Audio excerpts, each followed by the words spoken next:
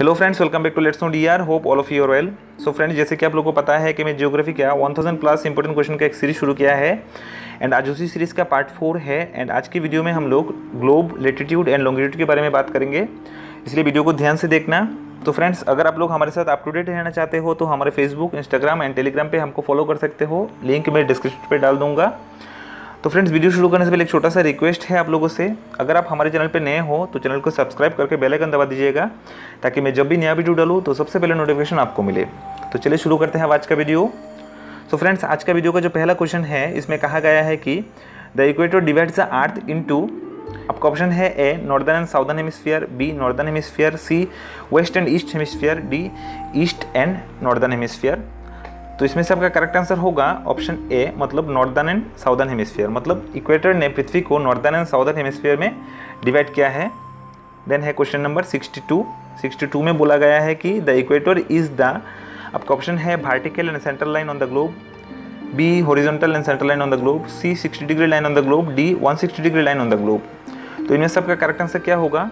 इनमें सबका correct answer होगा ऑप्शन बी मतलब horizontal and central line on the globe then next है क्वेश्चन नंबर 63 63 में बोला गया है कि earth is slightly flattened at the आपका ऑप्शन है A middle portion B south pole C north pole D north and south pole तो इनमें सबका करेक्ट आंसर क्या है? 63 का आंसर है ऑप्शन डी मतलब नॉर्थ एंड साउथ पोल ठीक है?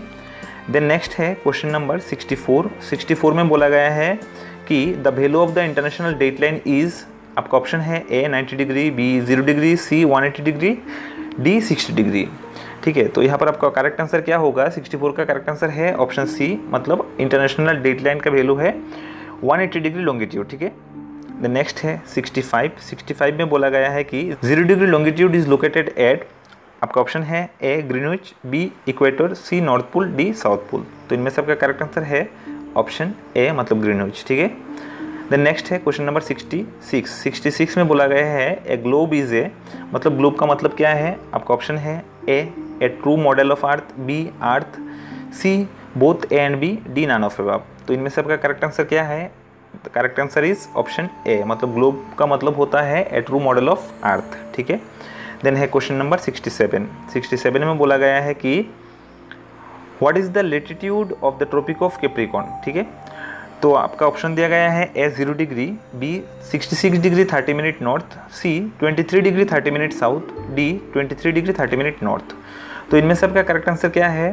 करेक्ट आंसर होगा ऑप्शन सी मतलब 23 डिग्री 30 मिनट साउथ को हम लोग ट्रॉपिक ऑफ़ कैप्रिकॉन के नाम से भी जानते हैं। देन नेक्स्ट है क्वेश्चन नंबर 68 68 में बोला गया है what is the name of the India's first astronaut ठीक है इंडिया का फ़र्स्ट एस्ट्रोनॉट का नाम क्या है? आपका ऑप्शन दिया गया है A Yuri Gagarin B Neil Armstrong C Rakesh Sharma D none of above तो इनमें से आपका करेक्ट आंसर होगा ऑप्शन सी मतलब राकेश शर्मा, ठीक है? राकेश शर्मा भारत का पहला एस्ट्रोनॉट था। देन क्वेश्चन नंबर 69 में कहा गया है कि the torrid zone lies between option A between Tropic of Cancer and Tropic of Capricorn B between Tropic of Cancer and Arctic circle C Tropic of Capricorn and Antarctic circle D none of तो इनमें से आपका correct answer होगा A मतलब between Tropic of Cancer and Tropic of Capricorn ठीक है? Then है question number 70 question number 70 में बोला गया है the United State of America has been divided into how many time zone ठीक है? यूनाइटेड स्टेट ऑफ़ अमेरिका में कितना टाइम जोन है? यूनाइटेड स्टेट ऑफ़ अमेरिका में आपका ऑप्शन दिया गया है A four B nine C six D one तो इनमें से आपका करेक्ट आंसर होगा ऑप्शन ए मतलब यूनाइटेड स्टेट ऑफ़ अमेरिका चार टाइम जोन में डिवाइडेड है. देन नेक्स्ट है सेवेंटी वन 71 में बोला गया है कि व्हाट इज़ द क्रोनोमीटर ठीक है, ये बहुत ही इंपॉर्टेंट है। क्रोनोमीटर का मतलब क्या है? क्रोनोमीटर का मतलब है, आपका ऑप्शन दिया गया है A locator B time indicator C wind instrument D rain gauge ठीक है, यहाँ पर आपका करेक्ट आंसर होगा। ऑप्शन बी मतलब टाइम इंडिकेटर क्रोनोमीटर एक टाइम इंडिकेटर है।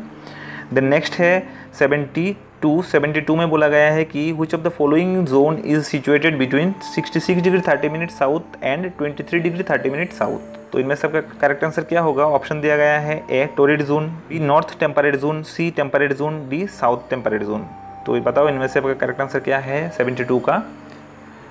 72 का करेक्ट आंसर होगा साउथ टेम्परेट जोन ठीक है?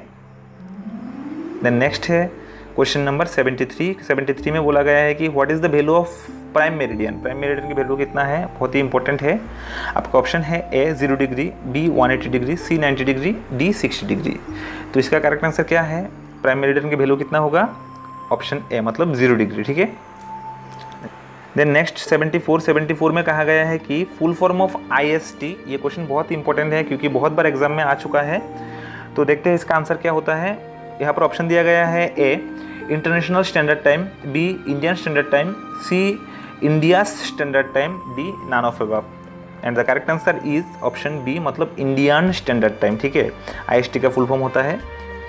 देन नेक्स्ट है 75 75 में बोला गया है कि what time does earth take rotating from one degree longitude to next longitude ये भी बहुत इंपॉर्टेंट है। इसमें कहा गया है option A 15 minute option B 10 minute option C 5 minute option D 4 minute and the correct answer is option D मतलब 4 minute ठीक है? देन नेक्स्ट है 76 76 में बोला गया है कि what is the total number of longitude आपका ऑप्शन दिया गया है 360 option B 180 C ninety D two eighty तो बताओ इसका आंसर क्या होगा? सेवेंटी सिक्स का। सेवेंटी सिक्स का करेक्ट आंसर है ऑप्शन ए मतलब टोटल नंबर ऑफ़ लॉन्गिट्यूड है थ्री सिक्सटी ठीक है? देन नेक्स्ट है question number seventy seven question number seventy seven में बोला गया है कि earth divided into how many time zone ठीक है, ये भी बहुत इंपॉर्टेंट है। पूरा पृथ्वी कितना टाइम जोन में डिवाइडेड है? यहाँ पर आपको ऑप्शन दिया गया है A four B eleven C twenty four D sixty three and the correct answer is option C ठीक है 24 पूरा पृथ्वी को हम लोग 24 टाइम जोन में डिवाइड करते हैं। देन नेक्स्ट है 78 78 में बोला गया है कि through which continent does tropic of cancer tropic of capricorn and the equator passes ठीक है मतलब कौन सा महादेश के ऊपर से tropic of capricorn tropic of cancer and equator तीनों लाइन पास हुआ है? तो यहाँ पर आपका ऑप्शन दिया गया है A, Africa, B, North America, C, South America, D, Asia. तो बताओ इसका आंसर क्या होगा? इसका आंसर होगा ऑप्शन ए मतलब अफ्रीका। अफ्रीका महादेश से ऊपर से ये तीनों लाइन पास हुआ है। तो ये ध्यान से याद रखना, अच्छे से याद रखना आप लोग।